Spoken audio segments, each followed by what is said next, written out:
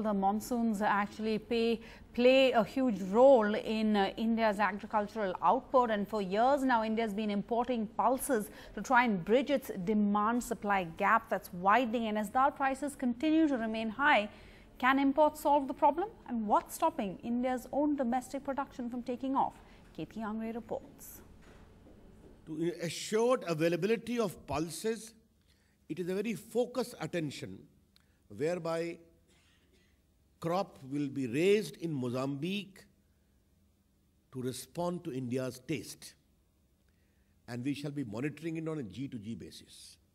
This uh, trade should be doubled from 1 lakh to 2 lakh in the coming four years. India's estimated production of 17.2 million tons is well short of the demand of over 22 million tons. So while this deal may ease some of that pressure, why is India still struggling to bridge the gap with more production in the country? This 30-year-old farmer from Maharashtra has sown arhad and urad in his 8-acre field. But Kishore Kakade says the demand-supply gap at the market gives him no guarantee of a good rate.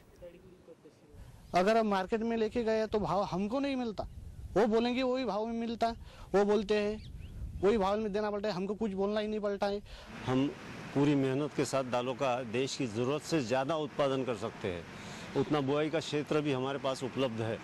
लेकिन सरकार की नीति और किसानों की परेशानियाँ इसकी वजह से देश में उत्पादन कम हो जाता है।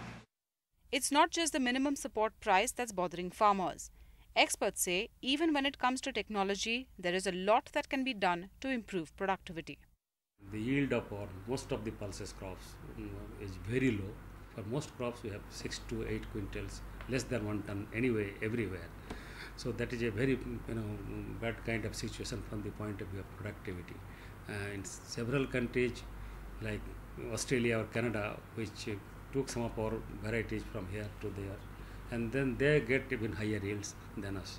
So there is a scope for that, and already the ICR, the Indian Council of Agriculture Research, some of their demonstration plots show that the yield can be you know more than doubled actually if we just transfer the existing technology to the farmers.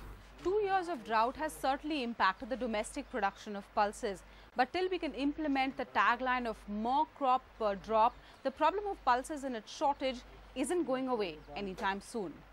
With Dhananjay Sabre in Akola and Vijay Patwal in New Delhi, Ketki Angre for NDTV.